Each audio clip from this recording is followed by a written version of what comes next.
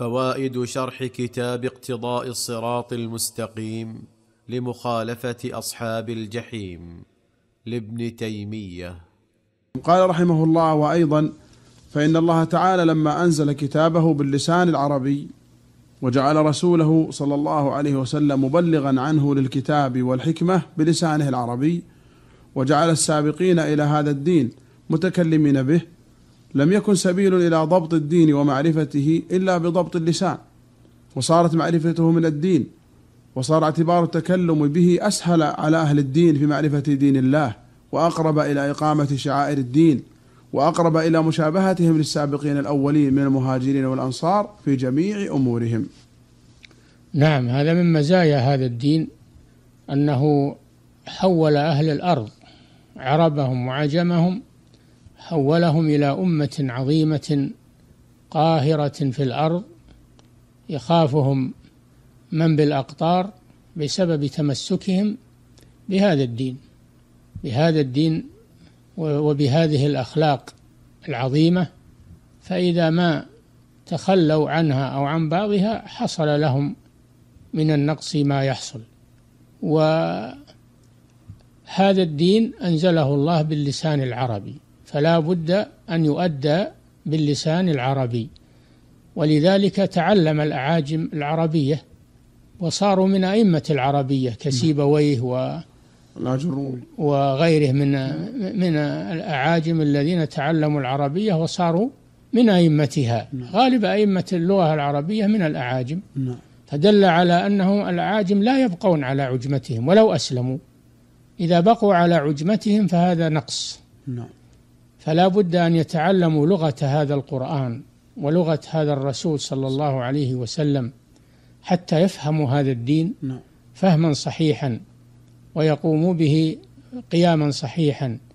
ولذلك من أسلم منهم وتعلم العربية صار من أئمة اللغة العربية ومن أئمة الحديث وأئمة التفسير وأئمة العلم.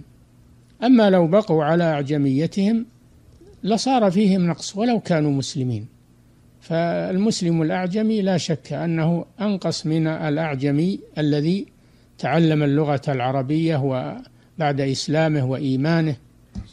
نعم قال وسنذكر إن شاء الله تعالى بعض ما قاله العلماء من الأمر بالخطاب العربي وكراهة مداومة غيره لغير حاجة. نعم. كذلك كما ذكرنا أن لغة هذا الدين هي اللغة العربية. العربية الفصحى فلذلك يجب أن يؤدى بها مهما أمكن في الخطب والكتابات والمحادثات. يكون باللغة العربية التي اختارها الله سبحانه وتعالى لكتابه ولرسوله ولدينه فيؤدى بها ولا يذهب إلى اللغة الأخرى إلا عند الضرورة وبقدرها أيضا بقدر الضرورة.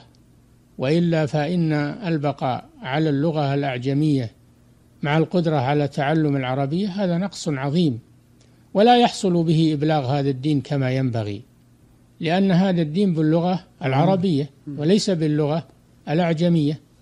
فلا بد أن العالم يتع... المسلم العالم المسلم أو من يريد الدخول في الإسلام لا بد أن يتعلم العربية. ولا بد أن تكون العربية هي لغة التخاطب واللغة لغة التعامل بين المسلمين في جميع أمورهم حتى في أمورهم الدنيوية تكون في المستشفيات في المطارات في كل مكان نعم. اللغة العربية التي هي سيدة.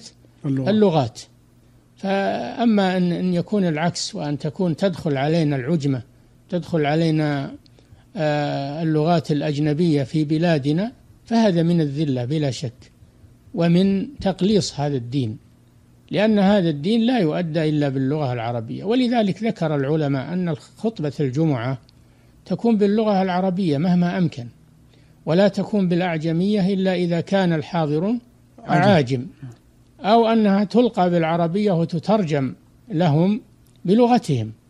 فالأصل في تبليغ هذا الدين هو اللغة العربية, العربية.